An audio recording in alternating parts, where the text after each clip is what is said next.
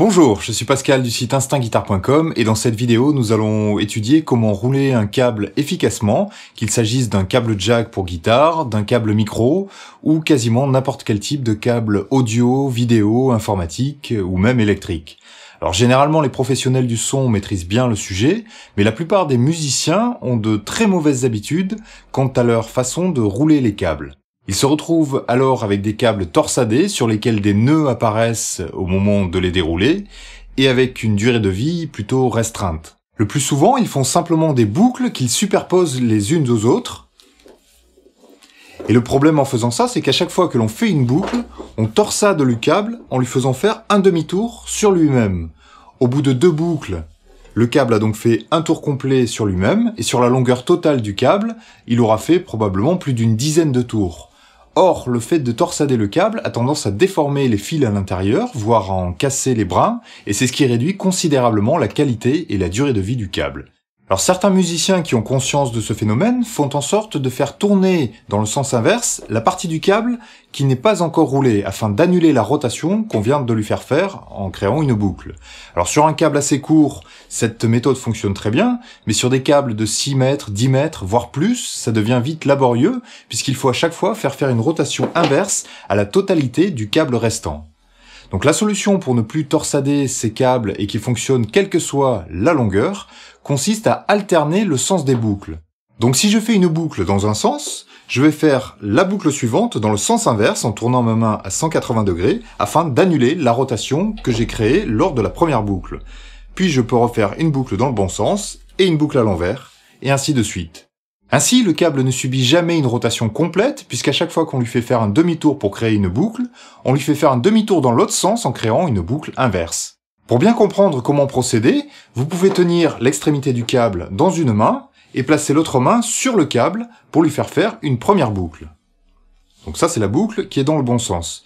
Puis on place la main sous le câble cette fois, et on fait faire une rotation de la main pour créer cette deuxième boucle. Donc si vous avez fait cette deuxième boucle correctement, vous verrez que le câble ressort derrière la boucle et non plus devant. Alors que quand on fait une simple boucle, le câble ressort devant. Une fois que l'on a compris les deux mouvements, il suffit donc de les alterner autant de fois que nécessaire, en fonction de la longueur du câble, en ayant l'assurance que le câble ne sera jamais torsadé. Une fois le câble roulé, il est important de l'attacher pour ne pas qu'il se déroule, mais surtout pour éviter que ses extrémités ne passent au milieu des boucles, sans quoi vous auriez droit à un sac de nœuds particulièrement frustrant. Pour ça, on peut utiliser de la ficelle ou même de l'adhésif, mais il existe des systèmes d'attache spécifiques qui sont assez pratiques. Les attaches les plus courantes sont faites à base de velcro, où généralement on attache le velcro autour du câble pour éviter de ne le perdre lorsque le câble est déroulé. Puis un simple tour suffit pour attacher le câble. Par contre, l'inconvénient du velcro, c'est sa tendance à attirer et à emprisonner la poussière, sachant que nos câbles traînent le plus souvent sur le sol. Pour éviter ça, il existe aussi des systèmes à base d'élastique. Ici, il y a un embout en plastique qui peut se clipser sur une extrémité du câble, puis il suffit de faire le tour avec l'élastique et de le fixer sur le petit ergot en plastique. Si vous voulez les références de ces accessoires, vous trouverez des liens juste en dessous de la vidéo. Alors au début, si vous n'en avez pas l'habitude, cette méthode pour rouler les câbles peut vous sembler un peu plus longue, mais avec un peu de pratique, vous verrez que ça se fait très rapidement.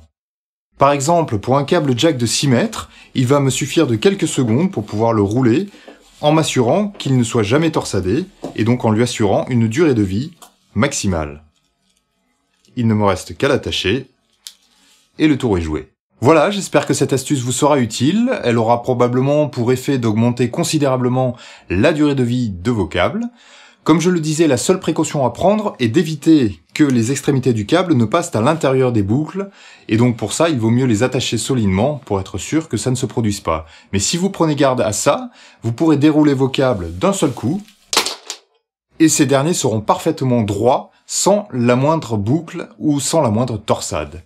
Si cette vidéo vous a été utile, pensez à la partager pour en faire profiter d'autres guitaristes, et quant à moi, je vous dis à très bientôt sur instinctguitar.com.